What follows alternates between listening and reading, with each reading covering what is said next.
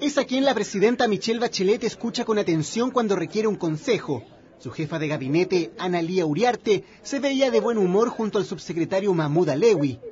Ambos, lejos de la preocupación que hay en sectores del oficialismo por los 15 días que se cumplieron este lunes sin ministro titular de la Secretaría General de la Presidencia, algo que no ha frenado el envío de los proyectos que regulan la actividad política. No voy a aceptar pasivamente el debilitamiento del sistema de partidos políticos y estamos actuando para fortalecerlos en su funcionamiento. Y aunque no haya titular de las Express, la ministra subrogante respondió preguntas y se encargó de explicar la ley orgánica de partidos políticos enviada al Parlamento. Hay una exigencia total de ratificación de la militancia a los partidos para efecto de poder determinar con claridad cuántos son los militantes que eh, existen en cada uno de los partidos políticos. La iniciativa, digamos, plantea inicialmente un año de plazo. En la cartera se sigue trabajando con normalidad, dicen algunos. Incluso la presidenta Michelle Bachelet hizo un llamado a terminar con lo que llamó la lecera por el nombramiento del titular.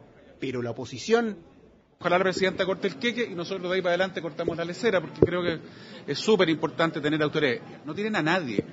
No hay una sola persona que cumple el perfil para ser ministro de la SOEXPRES. Yo creo que tienen. Yo creo que el llamado es a apurar esos nombramientos. Estas no son leceras, sino que son cosas importantes para el país. Algunos esperan que el nombre esté definido antes que finalice la semana distrital, pero en el comité político no se entregaron señales claras sobre el sucesor de Jorge Insunza.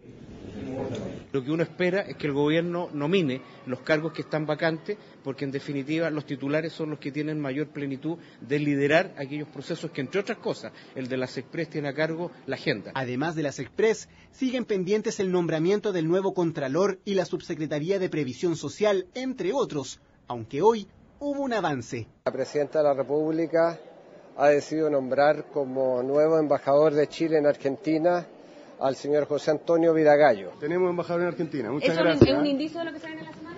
Es un indicio de que estamos siempre tomando decisiones. Muchísimas gracias.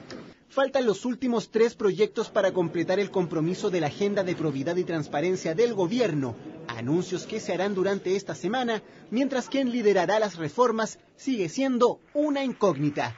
Rodrigo Sánchez, CNN Chile.